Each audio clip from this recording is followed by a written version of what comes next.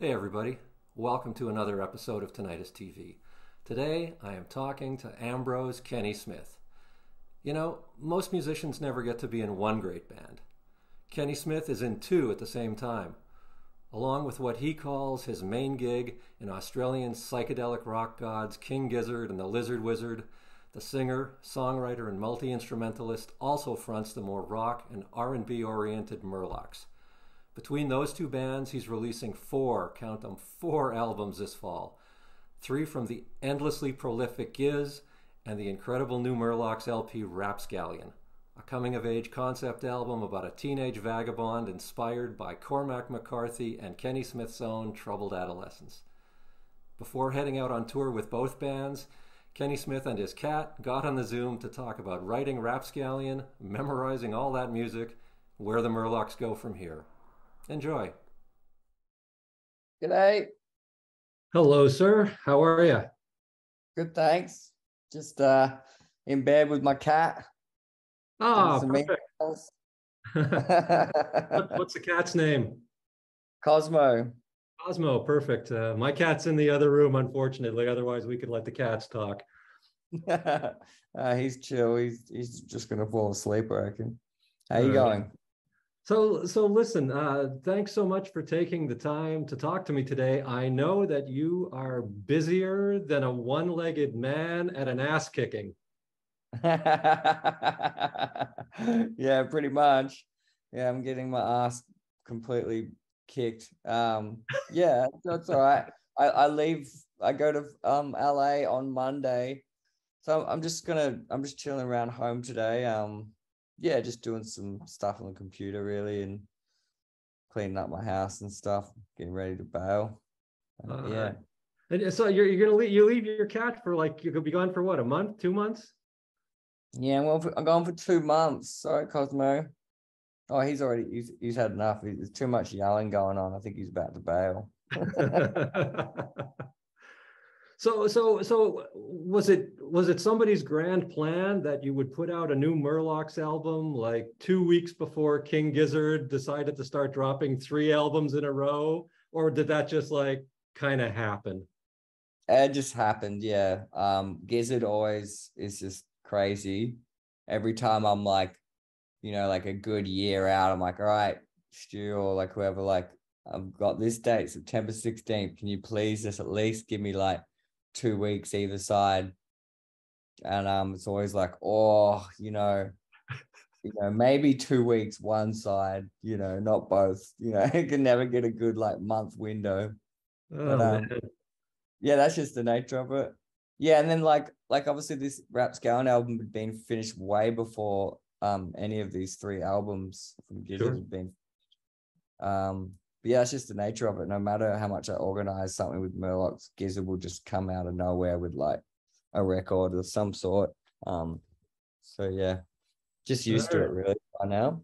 Well, but on the I guess on the plus side, you sort of get to you know piggyback on each other. You know, people will be talking about all of them. You know, that's it's you know. Yeah, yeah, yeah, totally. Yeah, there's always a good way to look at it, I guess. Um, Guess when it's all happening, it's like, oh God, now all our fans, like, you know, aren't going to be able to afford to buy a Murlocs record when it comes out, you know, a week later from this Gizzard pre-order. But like you said, it all it's all just it's all just hype, I guess, and just gets everyone. Uh, but I think I think the fans will want them all anyway, and you know, for the Yeah. people who, who are just you know more uh, more Murlocs, they've already got it. It's you know, it's out of the way. Yeah. You're taking money out of Stu's pocket, you know. Totally. doubt that but yeah no it all works out It's all, um it's all within the same realm and yeah it's good it feels good to have this murlocs album out and to get a bit of sunlight before um yeah we drop these three gizzard albums Yes. Well, I want to ask you a little bit about those later on, but let's start talking about Rapscallion, which is obviously Mhm. your sixth album, and and you guys really, really, I mean, you know, all of your albums have been good, great even, but you know, you've really upped the ante this time around in terms of you know the the whole narrative aspect to this. I mean, it's like uh it's like a concept album. Do do you how do you feel about calling it a concept album? yeah it feels great it feels good to finally have a concept album um Is that something you wanted that something you were yeah, eager? definitely. Without meaning to, I guess all the Murlocs albums have always sort of been pretty slapped together in a way. They were just like Hmm. Sort of mismatched, and there's never been any concept. It's sort of just been like whatever songs we have kicking around, and then I'll just like write whatever I'm feeling on the day or whatever for it. Um, but yeah, I guess yeah, it feels good to like have a record that's really seamless and it's like you know sounds like it's all meant to be together. You know. Yeah. Um, whereas we yeah, we, whereas in the past it's sort of been yeah, a sort of mixed batch. Um, but yeah, I think now since Bittersweet Demons, um, and now this one, it feels a lot more concise and thought about. Um, yeah, and I'm just super proud of it. I feel like it's our best yet, and it's gonna be hard to top. Oh, definitely the best yet. I mean, did did you did you uh, sort of have this plan going in, or or did it just kind of materialize as you were, you know, writing? Um, it just sort of materialized as we were writing because Murlocs never get like a huge amount of time, obviously, because I'm so busy with Gizzard is like my full time gig.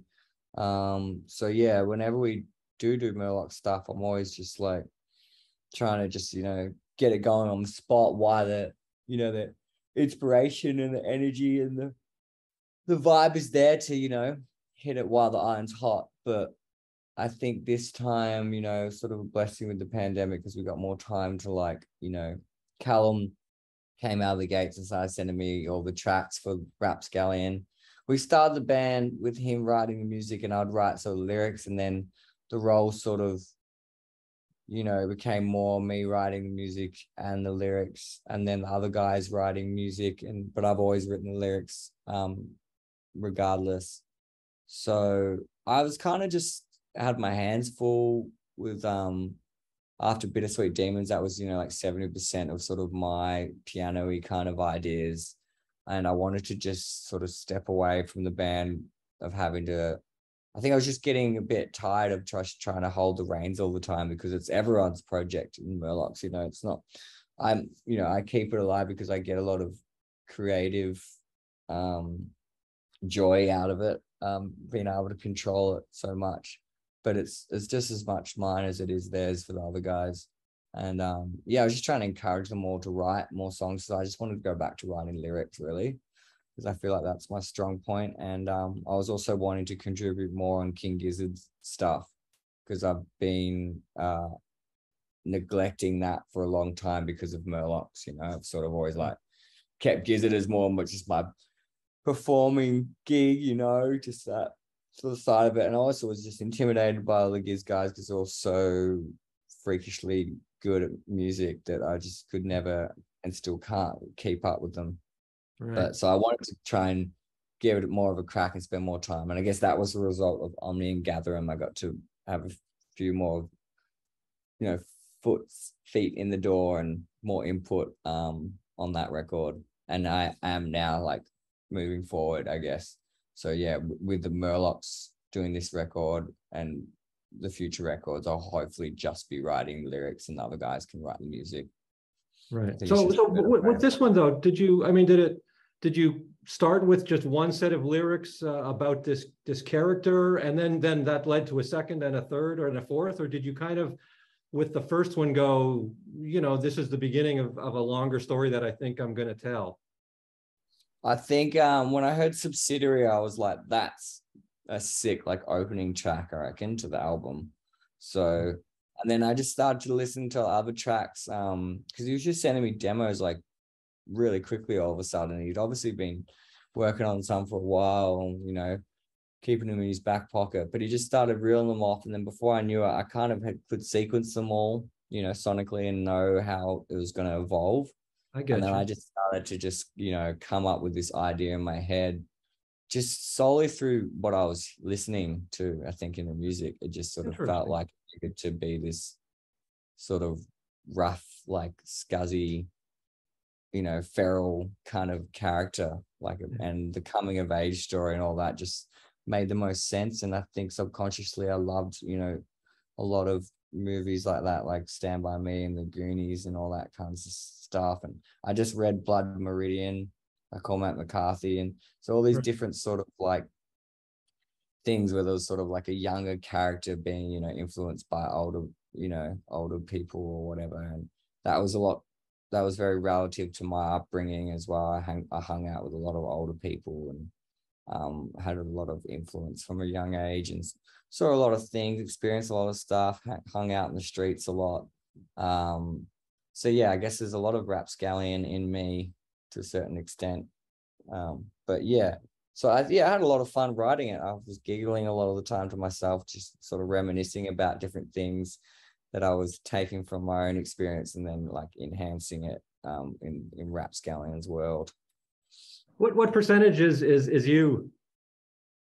Um, I guess just like you know, just like bobbing and weaving, dodging ticket inspectors to like you know just run-ins with general bigots and people of authority and just that want to make your life difficult for no reason.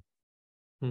Um, yeah, just sort of all that those sort of elements. Um, and you know, like Virgin Criminals about him you know, having his first bit of crime by stealing something and then getting into a scuffle with, and then shots are fired. But, you know, my side, my, I riffed off that from my experience of stealing something for the first time, which was just a chocolate bar or something. so I kind of like took all these little things and then just like amplified them into being a bit more extreme. And, you know, like then even like the tragedy of the love interest passing away overdose. You've, I've had friends that pass away from overdose and sort of been around those sort of different scenarios of people, you know, taking substances in the wrong way and um, you know, just general like uh, you know, your own sort of physical mental abuse just from like bringing it on yourself, I guess. Um yeah, I sort of just have met a lot of people in my life through skateboarding. I was a keen skateboarder most of my life. So I feel like I've just come across so many different paths leading up until music. And then um once I started like things started taking off with the band, I've you know, my world becomes a lot more sheltered. You know, people think we see and do a lot of stuff, but we don't really get to experience a huge amount. You know, it's always pretty much just the green room and the the highway um, and the hotel. So I, yeah, it was nice to reminisce about how much freedom I had, um, especially in a time when like it was lockdown and you couldn't go anywhere. So it was nice to True. reflect about, you know, being able to just do whatever you want. Did you did you write them all in order? And and was there a lot of um having to you know go back and rewrite and change and edit because i mean doing this kind of a big long form thing it's obviously yeah more detailed and more challenging than just writing an individual song off the top of your head and you have to kind of you know make sure it all works and goes where you want it to go and yada yada yada.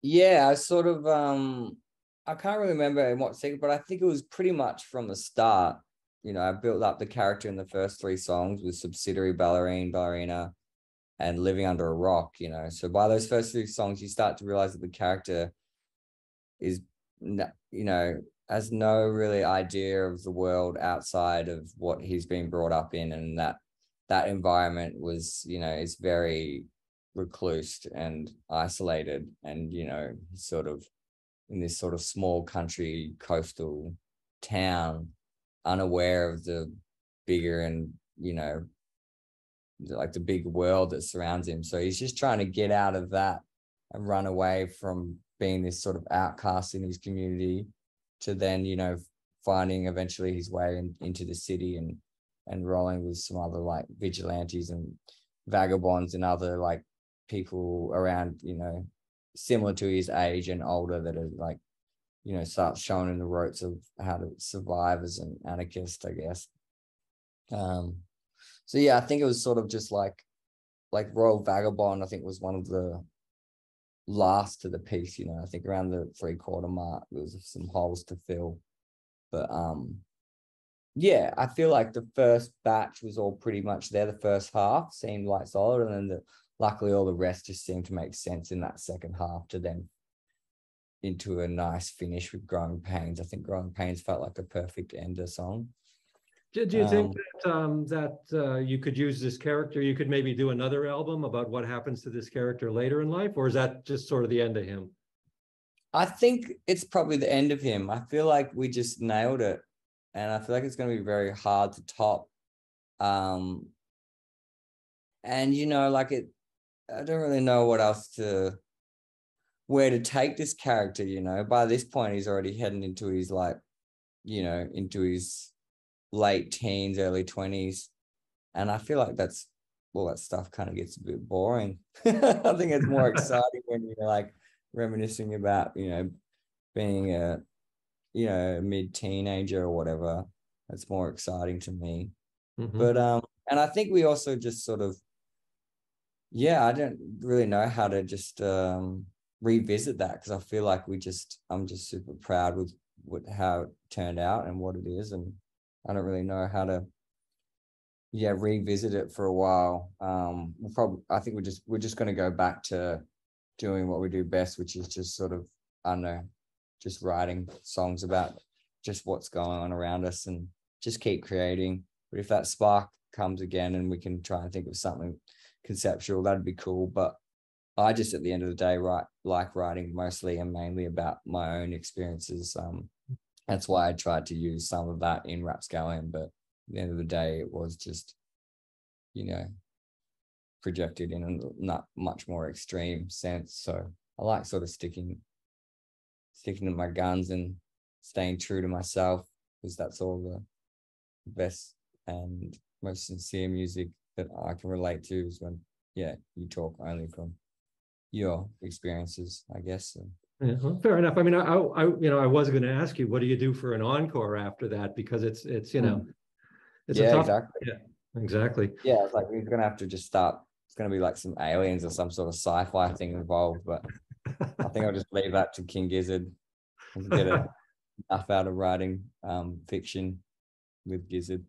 Yes. Well, uh, so this seems like a good time to segue. Three albums coming out next month. I mean that that is just that's mm. a tremendous amount of music. Um, how do you how do you pull how do you pull that off i mean that that just seems like such a, a huge amount of music to have to learn you know mm, yeah it, it really is um we're going yeah to la on like next week before we start the tour and we're going to hopefully learn a few songs off ice death but um yeah there's so much there. I feel like we create so much all the time with such like you know, in such a spontaneous way that like you never really think about how it's gonna yeah translate live later in the sense we kind of just you know just winging it and things happen so fast that a lot of the time i'm wishing i'm just setting up a, a camera of myself filming what i'm doing so make my life easier when i'm trying to go back to relearn everything. Um but yeah i feel like my brain's definitely getting to a point in life where it's starting to feel very overloaded. Muscle memory is a crazy thing though.